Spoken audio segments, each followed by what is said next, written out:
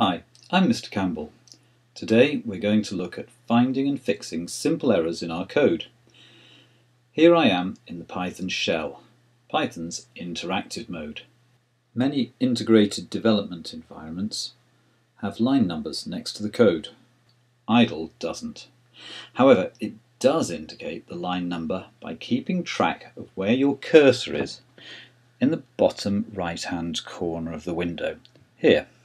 So, if I put my cursor next to the P of Python in the top left hand corner of the window, down in the bottom right hand corner it says line 1, column 0. If I move it down with my arrow key, it goes to line 2.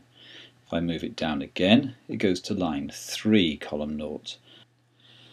A column is one character or space wide. The columns are going across column 1, 2, 3, 4, 5, and if I move to the beginning of the entry point, it's at line 4, column 4. Let's type something in. This works fine. Now we will look at a few errors that we all make from time to time. Let's copy that code and remove the final speech mark. When we run this, we get a syntax error. IDLE helpfully tells us it is an EOL error. EOL stands for end of line. IDLE also highlights the line where it came across the error, making it much easier to find. There is a final clue. IDLE has a feature called syntax highlighting, which highlights strings, for example, in green. When we do not close speech marks, the green highlighting does not finish. So let's copy that down and correct the error.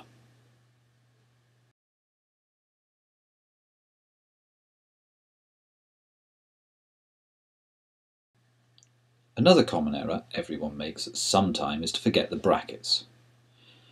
This also produces a syntax error.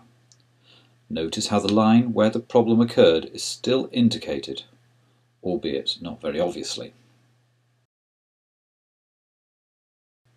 Is more interesting if we forget to close the brackets. Now, when we press return, no error appears at all. The cursor appears at an indent point. This is because IDLE thinks we've not finished supplying arguments to the print function, like this. However, what we intended to do was close the brackets.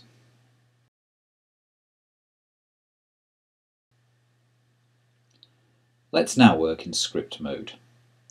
Here is a very small program called greeting.py. This is what it does when I run it. It prints hello to the Python shell.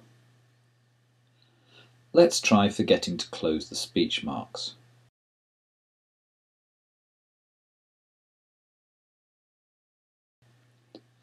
This is the same as in interactive mode.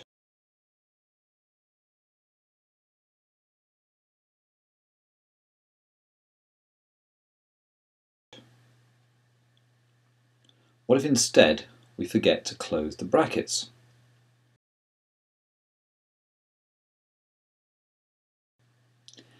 Now we again have a syntax error, but the red highlighting would appear to be in the wrong place. In fact, it is where IDLE noticed the problem. The error is produced by the missing bracket immediately preceding this on line 2. Let's fix this now.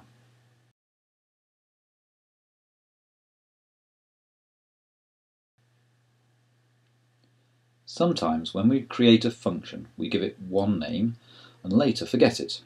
We then call the function by the wrong name. Let's see what this does.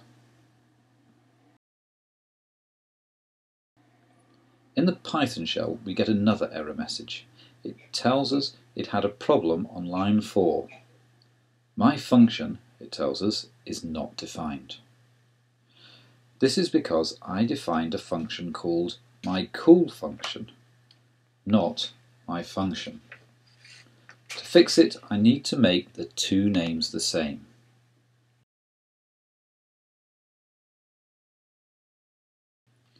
Now I'm going to make a more useful function that takes a string as an argument and then prints it.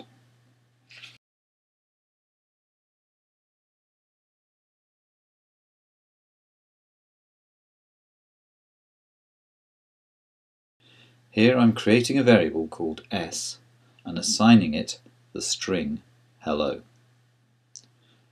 When I run this I get another error. IDLE tells me that on line 5 my function needs to supply an argument. Although I assigned hello to s, I forgot to add s as an argument to my function. Let's fix that.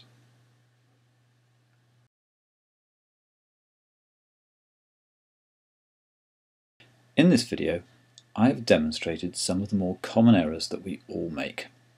I hope I've shown how IDLE can help you quickly find and fix them.